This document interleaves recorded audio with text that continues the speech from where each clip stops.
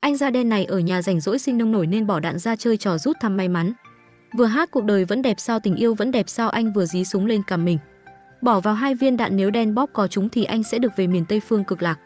Nhưng tôi thắc mắc sao anh đã muốn đi gặp ông bà ông vải như vậy, sao không để vào súng năm viên luôn đi cho chắc cú.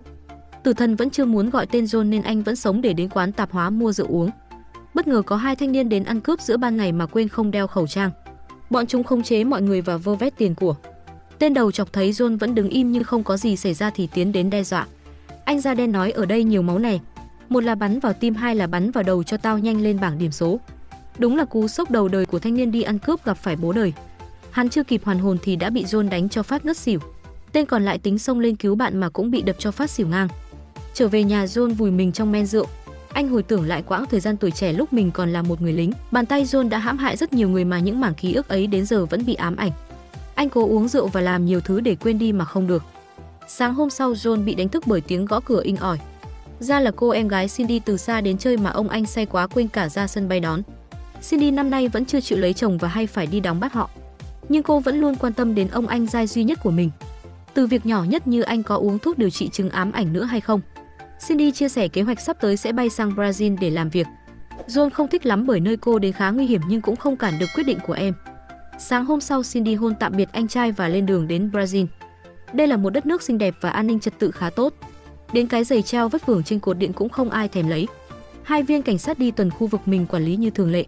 Nữ cảnh sát Cana bỗng phát hiện ra một cái xác trên bãi biển. Người đó chính là Cindy. May mắn cô ấy vẫn còn thở nên đã được đưa đi cấp cứu. Bối cảnh chuyển sang tòa lãnh sự quán. Thám tử Santo và cảnh sát đến tìm ngài phó lãnh sự. Họ thông báo về việc công dân Cindy đang ở Brazil và bị tấn công. Cô ấy đang làm công tác xã hội tại một khu ổ chuột thì xảy ra sự cố đáng tiếc trên. John ở nhà nhận được điện thoại thông báo em gái bị tấn công thì tức tốc bay sang Brazil. Hai viên cảnh sát đi tuần và hỏi tên lưu manh Kuka có dính líu gì đến vụ cô gái bị tấn công không. Đang nói chuyện thì cả bọn nghe thấy tiếng súng nổ. Đến nơi thì thấy thám tử Santo đang bắt một nhóm người gây gổ và buôn lậu vũ khí trái phép. Santo quay sang cà khịa nữ cảnh sát là cô cai quản khu vực này tốt quá cơ, tốt đến mức đâu đâu cũng thấy tội phạm. Vừa dứt lời thì một nhóm người được trang bị vũ khí đầy đủ bất ngờ bao vây họ. Dã man thật người dân ở đây được dùng vũ khí thoải mái chứ về Việt Nam thì bị tịch thu lâu rồi. Thấy địch quá đông nên Santo bỏ súng xuống và đưa ra thỏa thuận. Hãy cho người giỏi nhất của mấy anh đấu với tôi. Nếu tôi thắng thì hãy ngoan ngoãn kết thúc chuyện này ở đây. Còn nếu tôi thua thì sẽ trả lại hàng hóa cho mấy người và sau này sẽ không đến khu vực này nữa. Tên thủ lĩnh thấy điều kiện cũng được nên đã chấp nhận thỏa thuận. Phía Santo cử anh trai tóc dài bện lò so nghênh chiến. Cả hai đấu võ tay đôi cho nó công bằng. Ông ba lỗ cứ tưởng dễ nuốt con nhà người ta, ai dè chưa gì đã bị đấm bị đá cho sấp mặt. Cú nào cú nấy cứ bay vun vút vào giữa mặt trông đến tội. Kết quả không mấy ngạc nhiên khi phần thắng nghiêng về phía Santo. Anh hẹn sẽ còn đến đây thăm đám côn đồ nhiều cho đến khi nào tìm ra được hung thủ hại Cindy. Anh da đen cuối cùng cũng đã đáp chuyến bay đến Brazil. Lãnh sự quán đặc biệt ra đón anh vì họ từng là bạn cũ. Joe rất nóng lòng nên đã lái xe thẳng đến bệnh viện. Nhìn thấy em gái đang trong tình trạng hôn mê toàn thân chấn thương nghiêm trọng. Bác sĩ không biết khi nào cô ấy mới có thể tỉnh lại được. Joe rất đau lòng khi chứng kiến cảnh tượng này. Thám tử Santo đến và giới thiệu mình chịu trách nhiệm trong vụ này. Thật đáng thương cho cô gái đến đây làm từ thiện mà lại bị như thế. Họ lái xe đến khu ổ chuột để xem xét hiện trường vụ án. Trên đường đi, Santo nói ở đây đang diễn ra tình trạng buôn bán bột mì rất phức tạp. Có hai băng nhóm đối đầu nhau và sẵn sàng xử lý đối phương ngay lập tức. Anh dẫn John đến giới thiệu với cô cảnh sát phụ trách khu vực. Vừa thấy người lạ đến đám người canh gác đã nổ súng khiến John giật mình cảnh giác. Cô cảnh sát sau đấy dẫn anh đi tham quan một vòng nơi này. Phải nói chỗ này rất phức tạp đến nỗi nhiều khi cảnh sát cũng phải bó tay. Cảnh sát chỉ cho anh xem một văn phòng nơi mỗi ngày có hàng trăm người dân lui đến chữa bệnh. Chính phủ vốn đã lãng quên nơi này từ lâu, nên tiền để duy trì nó hoàn toàn do đám người buôn bột mì chu cấp. Vậy nên người dân ở đây cũng quen việc bảo vệ lại đám người ấy. Xong xuôi John trở lại bệnh viện chăm nom em gái. Anh thấy có một y tá người châu Á đến truyền thuốc cho Cindy. Bỗng dưng vài phút sau em gái lên cơn co giật dữ dội. John tức tốc chạy đi báo y tá bác sĩ đến cấp cứu. Cũng may họ sốc điện kịp thời nên Cindy đã qua cơn nguy kịch. Qua điều tra bệnh viện nói rằng ở đây không có bất kỳ y tá người châu Á nào hết. Rất có thể có ai đó cố tình muốn xử lý Cindy. John yêu cầu cắt cử thêm cảnh sát đến để túc trực an nguy cho em gái. Hôm sau anh quay lại khu ổ chuột để tìm kiếm thêm thông tin. John bắt gặp một nhóm thanh niên hay ngồi ngoài bãi biển nên tính đến để hỏi thăm. Trong số đó có người tên Kuka. Trên cổ hắn đeo sợi dây chuyền của Cindy nên khiến John chú ý, Gặng hỏi nhiều lần mà hắn không trả lời lấy sợi dây chuyền ở đâu nên anh đã dùng nắm đấm cho nó nhanh. Từng tên trong nhóm bị John hạ gục trong tích tắc. Mấy tên lưu manh này đúng là không biết tự lượng sức. Cuối cùng tên Kuka rút dao ra phòng thủ. Cơ mà lóng ngóng thế nào lại bị John ép cho vào vách tường. Đúng lúc đó cô cảnh sát thấy náo loạn nên đã vội chạy đến xem. Cô yêu cầu John thả người ra trước rồi từ từ nói chuyện. Thì ra em gái của Kuka là người từng cùng làm việc với Cindy, nên hắn mới được tặng cho sợi dây chuyền. Hắn còn gửi lại cho John một quyển sổ tay là do Cindy đánh rơi. Nữ cảnh sát nói em gái của Kuka đã bị hãm hại và không tìm thấy xác. Những việc này xảy ra ở khu ổ chuột rất thường xuyên nên cũng chẳng mấy ai quan tâm. Bối cảnh chuyển sang một con hẻm toàn là mấy em gái gọi. Thám tử Santo và cộng sự đang tác nghiệp ở đây. Một lão già yêu màu đỏ và thích chơi lỗ hậu đến hỏi giá một cô em chân dài. Chỉ chờ có thế Santo lao ra bắt tại trận cả hai. Anh tha cho cô gái còn lão già thì bị tẩn cho lên bờ xuống ruộng. Về phía John sau khi có được quyển sổ tay của em gái thì biết được Cindy có một cuộc hẹn trước khi gặp nạn. Ngay hôm sau anh tìm gặp người đàn ông đã gặp em gái mình lần cuối. Anh ta là một nhiếp ảnh gia được Cindy thuê để chụp hình ở khu ổ chuột. Theo như lời kể thì Cindy đang điều tra một vụ về trẻ em bị ép làm gái bán hoa và mất tích gần đây. Ảnh gốc anh đã đưa toàn bộ cho Cindy, còn bản sao thì nhiếp ảnh gia từ chối đưa lại cho John. Bởi đó xem như bảo hiểm nếu nhỡ may sau này anh ấy bị nguy hiểm thì còn có cái để trao đổi. John ôm nhiếp ảnh gia cảm ơn vì buổi gặp mặt hôm nay. Nhưng thật ra là anh đã nhanh tay trộm mất cái USB trong túi của nhiếp ảnh gia. Chào tạm biệt John xong người đàn ông nhanh chóng ra xe đi về. Thì tự nhiên bùng một cái chiếc xe ô tô của nhiếp ảnh gia đã nổ tung. Cảnh tượng đó khiến John bị ám ảnh nhớ lại quá khứ đi lính của mình. Đang quan sát xung quanh thì ánh mắt ta chạm nhau với nữ sát thủ. Cũng là người giả dạng y tá tiêm thuốc cho em mình. John vội đuổi theo nhằm bắt ả ta lại. Bất ngờ đám người áo đen đến đột kích xả súng liên tiếp về phía anh. Nhờ hào quang nhân vật chính mà John méo chúng phát đạn nào cả anh em ạ. Không những vậy, anh còn xử đẹp vài tên ngay tại chỗ.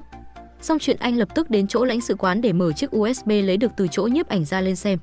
Bên trong chứa một bức ảnh chụp Cindy đang nói chuyện với một người đàn ông lạ mặt. Họ phát hiện ra nơi cả hai đứng nói chuyện là một quán bar trong khu vực. Tối đó, John lập tức đến quán bar để điều tra. Người đàn ông đứng nói chuyện với Cindy trong ảnh đang đứng trên cao quẩy Daisy. Bốn bề xung quanh toàn là mấy tên vệ sĩ cao to đen hôi. Lúc sau tên đó bỏ vào phòng vệ sinh và được một tên đứng ngoài canh cửa. Giải quyết tên vệ sĩ chỉ trong phút mốt, John kéo cổ tên kia ra ngoài chất vấn hắn có quen cô gái trong ảnh không. Dĩ nhiên là hắn phủ nhận ngay rồi, và thế là John cho người đàn ông tập bơi trong bồn cầu luôn. Sợ hãi hắn khai ra đó chỉ là một cô bán hoa hắn từng chơi thôi. Cơ mà nói động chạm đến em gái John nên hắn bị dí đầu vào bồn cầu ăn đòn đủ. Lúc sau đau quá hắn mới chịu khai việc Cindy theo dõi và chất vấn việc buôn lậu của hắn. Tuy nhiên hắn nói không động chạm gì đến Cindy cả mà có thể là khách hàng của hắn làm. John lập tức đến tìm địa chỉ của khách hàng mà tên kia chỉ điểm. Ngay hôm sau quân ta chia làm hai cánh quân. Cánh quân thứ nhất do thám tử Santo chỉ huy. Một nhóm lính tinh nhuệ được trang bị vũ khí đầy đủ sẽ nhận nhiệm vụ chiếm lại khu ổ chuột. Một nhà tình nguyện viên đến đây để giúp đỡ mọi người vậy mà đã bị hãm hại dã man. Giờ cô ấy vẫn còn hôn mê bất tỉnh. Đã đến lúc chúng ta xử gọn bọn buôn lậu rồi, trả lại bình yên cho người dân nơi đây. Cánh quân thứ hai chỉ có John và người bạn ở lãnh sự quán. Họ đang đi đến địa chỉ mà đã moi được từ tên buôn lậu tối qua. Nơi này trông giống như là ổ chuột thì đúng hơn. Toàn là mấy ông già và mấy cô em bikini chân dài trông bỏng cả mắt. John được tiếp đón như một vị khách VIP mới đến đây chơi lần đầu. Cơ mà bọn người này cũng khá cảnh giác nên đã gọi điện báo cho nữ sát thủ trên lầu. Cô ta nhìn qua một cái là đã nhận ra kẻ truy đuổi mình mấy bữa trước. Vì không muốn kinh động đến ông chủ Hiramoto nên ả lệnh cho bọn đàn em tự giải quyết.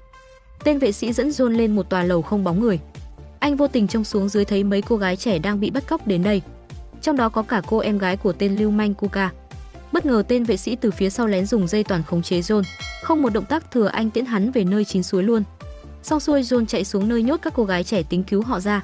Chưa kịp manh động thì bọn người áo đen ở đâu ra đông quá nên John lại thôi. Quay trở lại diễn biến ở khu ổ chuột, đội quân của Santo đã đánh chiếm được rất nhiều khu vực ở đây. Từng tên lưu manh côn đồ đã ra đi trước mưa đạn súng của mấy người lính. Một anh lính còn bắt được tại trận cảnh nhóm người áo đen bắt cóc các cô gái. Anh lập tức khống chế và gọi chỉ huy Santo đến giải quyết. Lúc chỉ huy đến nơi cứ ngỡ ông ta giơ súng xử lý bọn buôn người. Ai mà ngờ được hắn lại chĩa súng bắn đồng đội ngay tại chỗ. Sự thật được hé lộ tên Santo này thực chất là tay trong của đám buôn người. Nữ sát thủ cũng gọi điện cho hắn thông báo bị một tên người Mỹ đến đây làm phiền.